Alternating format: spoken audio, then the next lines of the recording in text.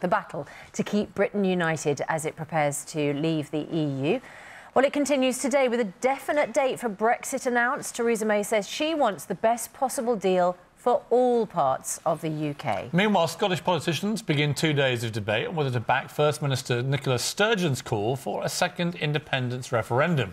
We'll speak to our political editor Ranvir Singh at Westminster in a moment, but first, our correspondent Nick Dixon is outside Holyrood in Edinburgh. Uh, Nick, the Prime Minister may want a deal for all parts of the UK, but that is not what the SNP wants. So, how much support does Nicola Sturgeon have for her plan for a second referendum?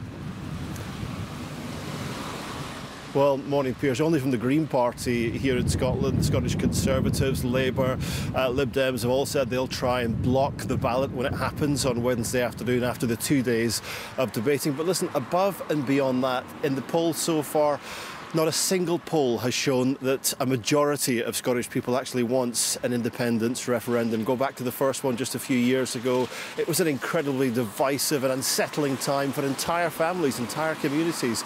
And not many people will relish the prospect of that sort of independence uh, referendum happening again. So this could be a tough sell uh, for Nicola Sturgeon. Certainly today at the Scottish Parliament, it's going to be very feisty and very passionate uh, with these debates and the Prime Minister will be watching very closely.